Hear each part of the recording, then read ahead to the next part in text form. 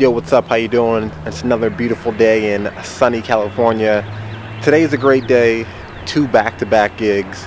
Equinox in West Hollywood, which I usually have, in the Falls downtown, which where I'm doing an all video set. Now, I haven't done a video set in a long time. It's where you actually mix um, music videos instead of regular MP3s. Still use the same turntables and everything like that, but you connect it with a projector or a large TV screen, things like that, to project the um, video image. So that's really fun. I get to get to like put together custom visuals for that and stuff like that. So it's cool. It takes a little bit more work uh, than regular DJing, but I like doing it. Maybe I can get into doing that a little bit more out here. We'll see. Who knows? But um, as always, when I DJ Equinox to get to the falls, it's really tight because Equinox goes from 7:45 to 8:45, and they start late a lot of times, so I don't get out of there till 9.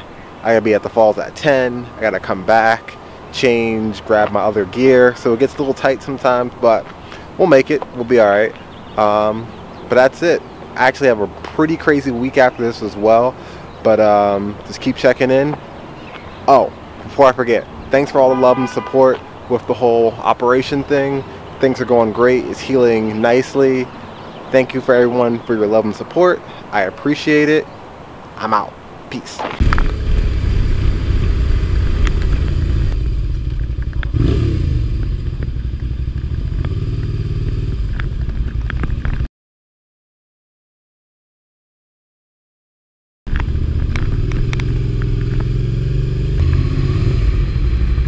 Did y'all see that bike?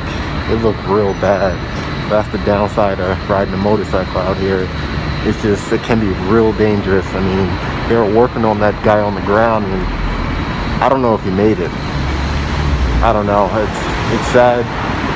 Um, but riding out here, you just gotta be, you gotta be super careful and you just never know what's gonna happen.